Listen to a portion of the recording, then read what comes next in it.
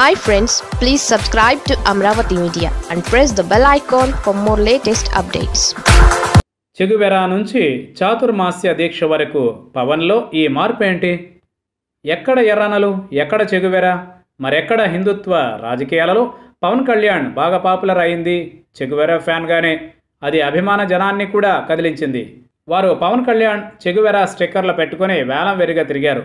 అది ఎంతవరకు వెళ్ళిందంటే ఓ సినిమా ఫంక్షన్లో మెగాస్టార్ చిరంజీవి సైతం పవన్ అంటే చెగువెర గుర్తుకు వస్తాడు అన్నారు.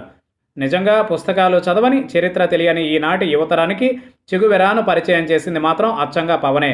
ఎక్కడో క్యూబాలో ఉన్న విప్లవ వీరుడు మన గడ్డ మీద పుట్టిన అల్లూరి కన్నా ఫేమస్ అయిపోయాడు అంటే అది ఖచ్చితంగా పవన్ కళ్యాణ్ గొప్పతనమే. యువతను ఉరుతలుగించే మ్యాజిక్ పవన్లో ఉండబట్టే మన తెలుగు సీమల్లో చెగువెరా స్టిక్కర్లు. ఆయన బొమ్మతో ముద్రించిన టీ షర్ట్లు అన్నీ కూడా ఆమె క్రేజీ అయ్యాయి. పవన్ కళ్యాణ్ రాజకీయ ప్రస్థానంలో తొలి పిలుపు చెగువెరా. అలా ఎన్నో మలుపులు తిరిగిన పవన్ కళ్యాణ్ ఇప్పుడు కాషాయధారిగా ఓ కీలక మజిలీ చేస్తున్నాడు. అటువంటి వేళ కూడా పవన్ కళ్యాణ్ ఫ్యాన్స్ అనబడే జన సైనికులు చెగువెర పుట్టినరోజు వేడుకలను ఈ మధ్య ఏపీలో అట్టహాసంగా జరిపారు. మా సిద్ధాంతకర్త చెగువెరాయేనని వారు గట్టిగా చాటుకున్నారు. కానీ అప్పటికే బీజేపీతో సావాసం చేస్తున్న పవన్ కళ్యాణ్ మాత్రం చెగువెరాను తలవనైనా తలవలేదు. అభిమానులు మాత్రం క్యూబా విప్లవాదికి బీజేపీకి లింక్ పెట్టి మరీ అద్భుతమైన రాజకీయ ప్రయోగం చేసేశారు. పీఠాధిపతులు స్వామీజీలు సాధారణంగా చాతుర్మాస దీక్షలు చేస్తారు. మిగిలిన వారు చేయకూడదని లేదు కానీ సంసారిక బంధాల్లో వ్యాపకాల్లో పడి నిష్ఠగా చేయలేరు. అటువంటిది ఒక సినీ సెలబ్రిటీగా ఉంటూ రాజకీయ నేతగా చురుకుగా ఉంటూ వస్తున్న పవన్ కళ్యాణ్ చేయాలనుకోవడం విశేషమే. ఏకభుక్తం. నేల మీద శయనం స్త్రీ సాంగత్యానికి దూరం వంటి కఠిన నియమాలు ఇందులో ఉన్నాయి. పవన్ కళ్యాణ్ సడన్గా ఇంతటి గట్టి దీక్షను చేపట్టడం ఆశ్చర్యపరిచేదే. మామూలు జీవితం సాగించేవారే ఈ నియమాలు చూసి జడుచుకుంటారు. కానీ పవన్ కళ్యాణ్ తనలో ఈ కోణం కూడా ఉందని చెప్పుకున్నారు.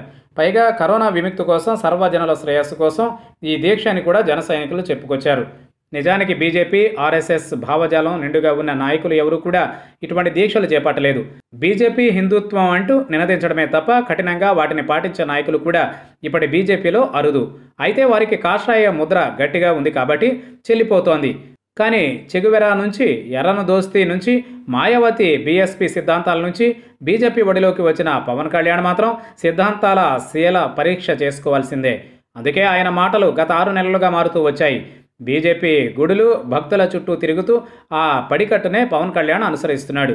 ఇప్పుడు ఏకంగా ఆచరణలో కూడా తాను అపర హిందుత్వ ప్రతిరూపమని చెప్పుకోవడానికి ఈ చాతుర్మాస దీక్షల కూర్చున్నారని రాజకీయ విమర్శలు వస్తున్నాయి. ఎవరేమనుకున్నా పవన్ కళ్యాణ్ మాత్రం రాజకీయాలను బాగా అర్థం చేసుకున్నాడు. రోమ్లో ఉన్నప్పుడు రోమన్గా ఉండాలనే అనుకుంటున్నారు.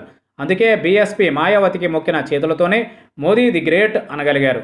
వారికి దండం పెడుతూనే వారు అంతకంటే బలంగా నమ్మే హిందుత్వానికి ప్రణామం అంటున్నారు. ఇది నిజంగా పవన్ కళ్యాణ్ రాజకీయ వ్యక్తిగత జీవితానికి మేలు మలుపుగానే చూడాలి.